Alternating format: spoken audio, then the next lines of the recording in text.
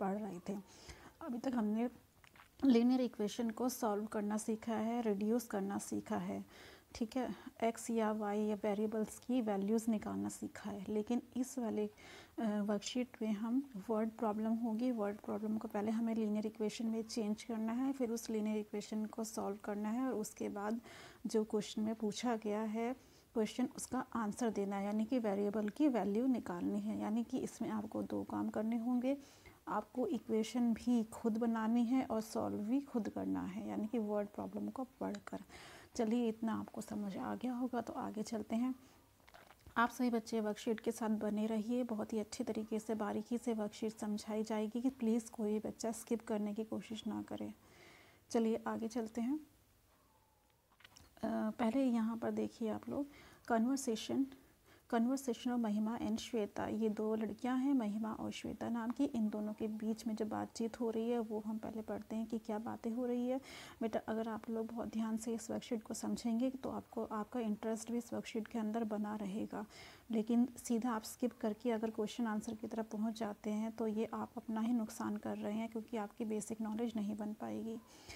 तो महिमा आज श्वेता महिमा श्वेता से उसकी उम्र पूछती है। Shweta told that her age Shweta कहती कि उसकी एज और उसके भाई की एज कंसिक्यूटिव इवन नंबर्स हैं और जिनका सम जो है थर्टी है, जिनका सम थर्टी है। तो क्या तुम गैस कर सकती हो कि मेरी और मेरे भाई की उम्र क्या है? तो ये इनके बीच में बातें चल रही हैं। तो उसने जो है डायरेक्टली अपनी उम्र ना बताकर, श्वेता ने डायरेक्टली अपनी उम्र ना बताकर घुमा फिरा कर उसको बता दिया कि भाई मेरे भाई की और मेरी उम्र जो है इवन कॉन्सिक्यूटिव नंबर्स है और हम उन दोनों का सम थर्टी है तो तुम खुद गेस कर लो। तो इसका मतलब पहले तो हमें ये चीज़ें समझनी होगी कि कंसिक्यूटिव नंबर्स क्या होते हैं और इवन कंसिक्यूटिव नंबर्स क्या होते हैं? जब तक आपको ये नहीं पता होगा तो आप आगे कुछ नहीं कर सकते हैं। तो सबसे पहले तो कंसिक्यूटिव नंबर्स बेटा वो होते हैं जो लगातार आते हैं, जैसे कि वन के बाद टू आएगा, ठीक है टू के बाद थ्री आएगा थ्री के बाद फोर आएगा। अगर आपसे पूछा जाए कि पंद्रह का कंसिक्यूटिव नंबर क्या है तो आपको सिक्सटीन बोलना यानी कि उसका अगला नंबर होता है। कंसिक्यूटिव का मतलब ये होता है। लेकिन अगर आ गया है consecutive even numbers consecutive even numbers का मतलब होता है कि टू के बाद जो है, आता तो थ्री है कंजिक्यूटिव नंबर लेकिन इवन लेना है तो हमें थ्री ना लेकर उसके तुरंत बाद का इवन नंबर लेना है फोर फोर के बाद इवन कंजिक्यूटिव नंबर जो है सिक्स है, और सिक्स के बाद जो है एट है, और एट के बाद टेन है, और इस तरह से ये चेन चलती जाती है। तो आशा करती हूँ आप लोगों को कंजिक्यूटिव इवन नंबर समझ आ गए होंगे तो आइए चलते हैं अपनी क्वेश्चन एग्जाम्पल्स की तरफ़। ये देखिए, यहाँ पर एक एग्ज़ाम्पल दिखाया गया है। जो उसने श्वेता ने जो बताया था तो उसके हिसाब से महिमा ने महिमा ने जो गैस लगाया, वो ये लगाया। उसने सोचा कि अगर टेन प्लस टू करें तो भी थर्टी आएगा। तो लेकिन वो सोचती है कि उसने ये भी कहा है कि टू कंसिक्यूटिव इवन नंबर्स होंगे। तो क्या आप बता सकते हैं, टेन और ट्वेंटी क्या कंसिक्यूटिव है? बिल्कुल नहीं, क्योंकि टेन और ट्वेंटी के बीच में दस नंबर का अंतर आ रहा है। और हमने कंसिक्यूटिव का मतलब क्या कहा था कि उनमें कोई अंतर नहीं होना चाहिए। इवन में एक डिफरेंस हो सकता है। इवन कंसिक्यूटिव नंबर्स हैं बट अगर सिर्फ़ कंसिक्यूटिव नंबर्स कहेंगे तो कोई डिफरेंस नहीं होगा। उसी तरीके से उसने सेकेंड गैस ये लगाया है कि टेन एटीन और ट्वेल्व जो है, वो उससे भी थर्टी आता है सम लेकिन अगेन वही प्रॉब्लम है कि एटीन और ट्वेल्व इवन नंबर्स तो हैं, लेकिन ये कंसिक्यूटिव नहीं है। एटीन के बाद ट्वेंटी आना चाहिए था। अगर वो ट्वेल्व ले रही तो ट्वेल्व के बाद फोर्टीन आना चाहिए था। कंसिक्यूटिव इवन नंबर्स होने चाहिए थे। तो इस इसके हिसाब से जो ये गैस कर रही थी तो वो तो कैलकुलेशन बिल्कुल गलत बैठ रही थी। तो यहाँ पर टीचर ने हेल्प करी उसकी उसकी उम्र जानने के लिए। तो उसने क्या करा, ये का क्वेश्चन है कॉपी में उतार लेना और ये इसका सॉल्यूशन है, यहाँ पर ये आंसर है। पहले उसने एज जो टीचर हैं, उन्होंने श्वेता की एज को मांग लिया टू एक्स अब कुछ बच्चे कहेंगे कि मैडम सिर्फ़ एक्स या वाई या फिर जेड क्यों नहीं माना? इसके आगे हमने टू लगाया, कि टू क्यों लगा दिया? तो बेटा टू लगाएँगे तभी तो वो इवन नंबर बनेगा ना। आप खुद देखिए, अगर एक्स वाई जेड लगाते हैं तो उसका आंसर थ्री भी आ सकता है फाइव भी आ सकता है सेवन भी आ सकता है, लेकिन ये इवन नंबर्स तो नहीं है। तो कोई भी आंसर आएगा, उसको इवन होने के लिए टू टू लगाना ज़रूरी हो जाता है। इसलिए हम ये मान के चलेंगे कि श्वेता की जो एज है वो है टू एक्स ठीक है? हम ये मान के चल रहे हैं कि उसकी एज टू एक्स है तो उसके भाई की टू एक्स प्लस टू है। अब कुछ बच्चे कहेंगे कि ma'am two x plus two क्यों, यहाँ पर टू आपने ऐड क्यों करा? क्योंकि बेटा टू ऐड करेंगे तभी तो वो एक और इवन नंबर बनेगा। जैसे कि टू एक्स है, मान लो एक्स की एक्स की वैल्यू अगर वन आती है टू तो टू हो गया, ठीक है? और अगर टू एक्स प्लस वन करेंगे प्लस वन करेंगे आपके हिसाब से तो थ्री आ जाएगा, जो कि इवन नंबर नहीं बनेगा। अगेन उसको इवन नंबर बनाने के लिए हमने टू ऐड किया है। ठीक है? आगे चलते, इतना आपको समझ आ गया होगा तो आगे चलते हैं। यहाँ पर देखिए, अब ये हमारे पास दो इक्वेशन आ गई। दो जो हमारे पास ये नंबर्स आ गए, एक टू एक्स है और उसके भाई की टू एक्स प्लस टू है। आप ए टी क्यू लिखा हुआ है? इसका मतलब होता है अकॉर्डिंग टू क्वेश्चन इसका मतलब होता है अकॉर्डिंग टू क्वेश्चन, ठीक है? यानी कि क्वेश्चन के अनुसार हमें चलना है। तो क्वेश्चन में क्या कहा था कि दोनों की उम्र का जो समय थर्टी है, यानी कि इसकी उम्र प्लस इसकी उम्र two x plus two x plus two इन दोनों की उम्र का जो समय वो है थर्टी ठीक है? तो इसके आगे इन्होंने सॉल्व करा है कि टू एक्स टू एक्स क्या हो गया? Four x plus two equal to thirty फिर ये इट इम्प्लाइज दैट कि फोर एक्स ये जो बेटा इसका साइन होता है ना, इसका कह लो या ये कह लो, इसका मतलब होता है एम्प्लाइज दैट ये इक्वल टू नहीं होता एम्प्लाइज दैट ठीक है? तो इट इम्प्लाइज दैट कि four x equal thirty minus two हो गया तो एक्स की वैल्यू इस तरह से सेवन निकल गई। अगर श्वेता की उम्र मतलब अभी हमारे पास एक्स की वैल्यू आई है, लेकिन श्वेता की उम्र तो टू एक्स है, यानी कि जहाँ जहाँ एक्स होगा, वहाँ वहाँ हमें सेवन रखना है तो टू सेवन ज़ा फोर्टीन यानी कि श्वेता की उम्र हो गई फोर्टीन जो कि हमें निकालनी थी। ये हो गया, ठीक है? उसी तरह से आपका जो ये एग्ज़ाम्पल ये वाला दिया हुआ है एग्ज़ाम्पल वन ठीक है? ये देख लेते हैं बेटा, यहाँ पर। इन्होंने कहा है अगर आप देखेंगे, Praveen has rupees one eighty Praveen के पास में वन हंड्रेड एट्टी रुपीज़ है उसके पीगी बैंक में गुल्लक में। ठीक है, उसके पास दो दो के और पाँच पाँच रुपए के कॉइन्स हैं, सिक्के हैं। ठीक है द नंबर ऑफ़ कॉइन्स जो दो रुपए के सिक्के हैं, वो पाँच रुपए के सिक्के से डबल है। Find the number of coins तो पता लगाता है कि दो दो के और पाँच पाँच रुपए के सिक्के कितने हैं पीगी बैंक में। यानी कि दो दो के सिक्के कितने सारे हैं और पाँच पाँच के सिक्के कितने सारे हैं। चलिए इस सॉल्यूशन की तरह बेटा आप इसको और इसको दोनों को कॉपी में ज़रूर कर लेना। दोनों ही इम्पोर्टेंट क्वेश्चन हैं। तो समझते हैं हम। तो उन्होंने पहले फाइव को मान लिया कि एस है। अब कुछ बच्चे कहेंगे मैडम टू को टू से हमने शुरुआत क्यों नहीं करी? बेटा हमने टू से शुरुआत इसलिए नहीं करी क्योंकि इन्होंने कहा है ये देखो कंडीशन देखो, उन्होंने कहा कि दो रुपये वाले जो सिक्के हैं, वो पाँच रुपये वाले सिक्के से दुगने हैं।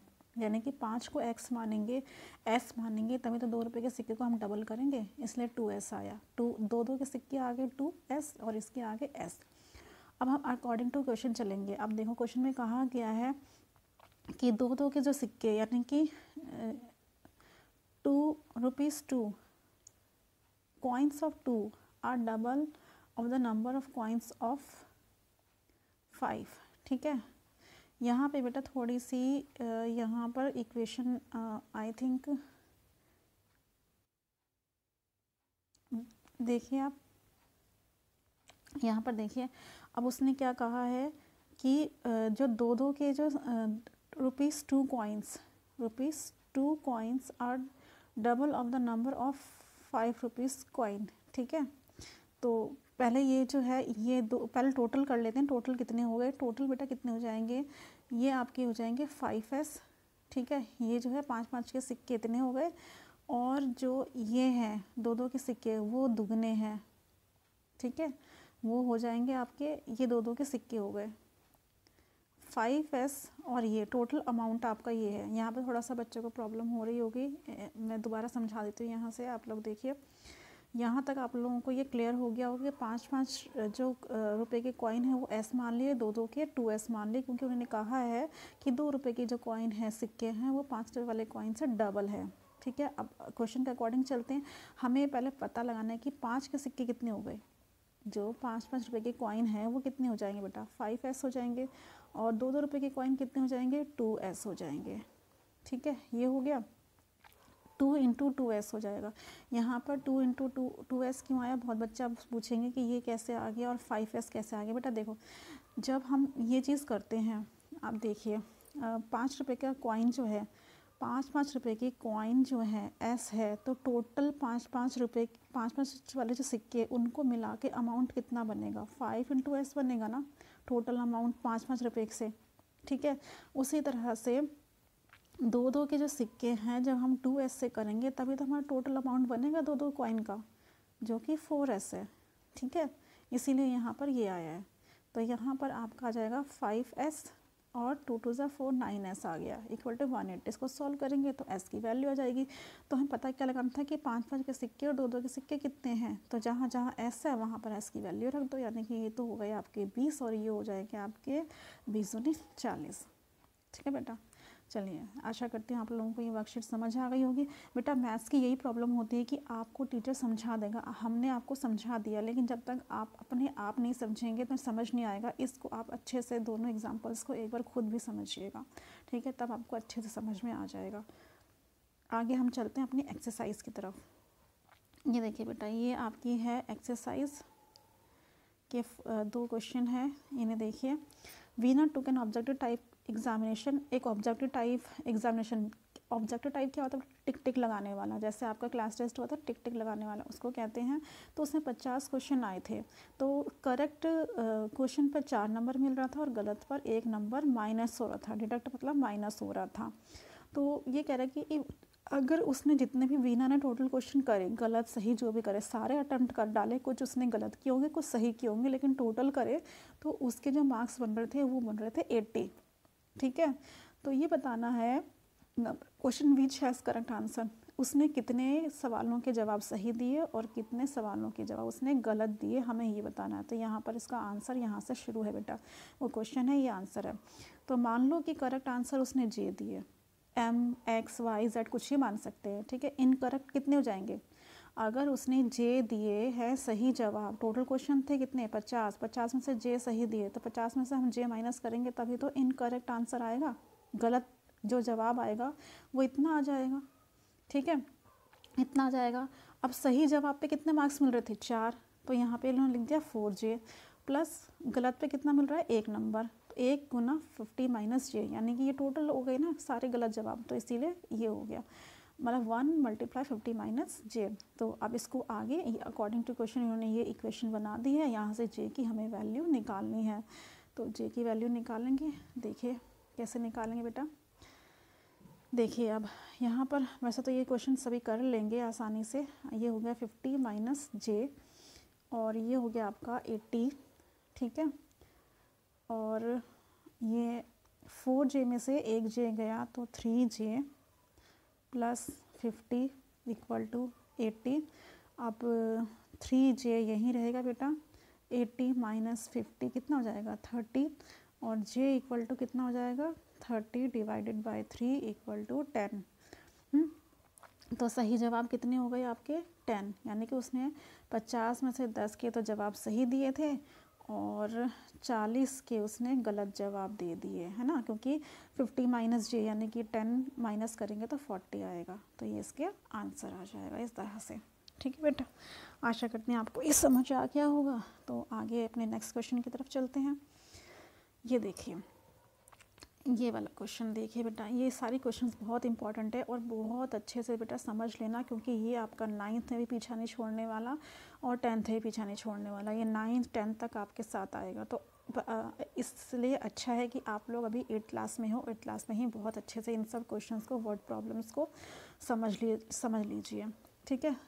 अब आगे चलते हैं। The sum of two consecutive numbers. अब ऊपर पढ़ा था, कॉन्सिक्यूटिव नंबर्स क्या होते हैं? जो एक के बाद एक आते हैं। ठीक है? विच वॉज़ डिविजिबल यहाँ कंडीशन दे दी है कि हमें कोई भी नहीं लेना। ऐसे कंसिक्यूटिव नंबर्स लेने हैं जो कि सेवन से डिविजिबल होंगे। बेटा, कोई भी टेबल बोले फाइव बोले सिक्स बोले सेवन बोले एट बोले डिविजिबल जो भी नंबर देंगे ना, उसमें हमें पहले को तो एक्स मानना है, दूसरे को एक्स प्लस सेवन मानना है। क्यों क्योंकि डिविजिबल बाय सेवन का मतलब होता है कि उसमें वो टेबल जो है सेवन से कटेगा। जो भी हम नंबर ले रहे हैं वो सेवन से कटेगा। तो यानी कि एक तरह से अगर सिंपल भाषा में समझाया जाए तो हमें ऐसे नंबर्स कंसिक्यूटिव नंबर्स लेने हैं जो कि सेवन के टेबल्स में आ रहे हैं। सेवन के टेबल्स में आने के लिए बेटा प्लस सेवन होगा, फिर जैसे देखो, अगर हम पढ़ते हैं सेवन वन ज़ा सेवन फिर सेवन टू ज़ा फोर्टीन तो कितना सात सात सात जुड़ता चला जाता है ना? सात जुड़ा, फिर सात जुड़ेगा, फिर सात जुड़ेगा, फिर सात जुड़ेगा, इस तरह से। तो इसीलिए उन्होंने पहला एक्स माना और दूसरे में सात जोड़ दिया, क्योंकि ये टेबल होने वाली है सेवन की, ठीक है?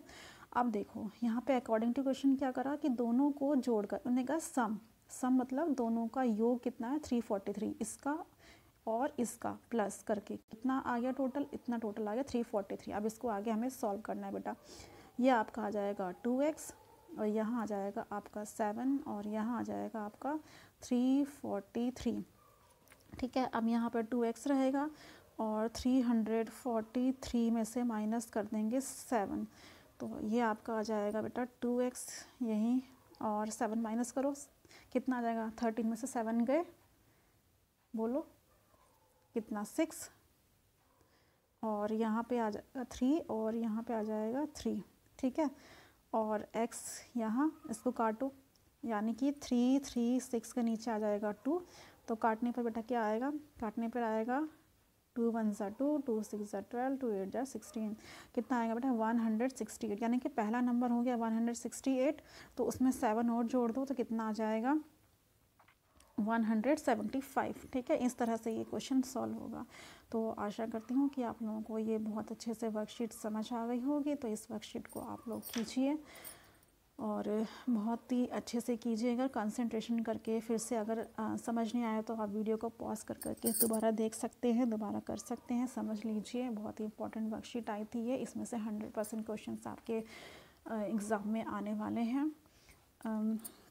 So good bye from my side this is Pooja Pal your host and educator of Vishu academy and till next week and next worksheet good bye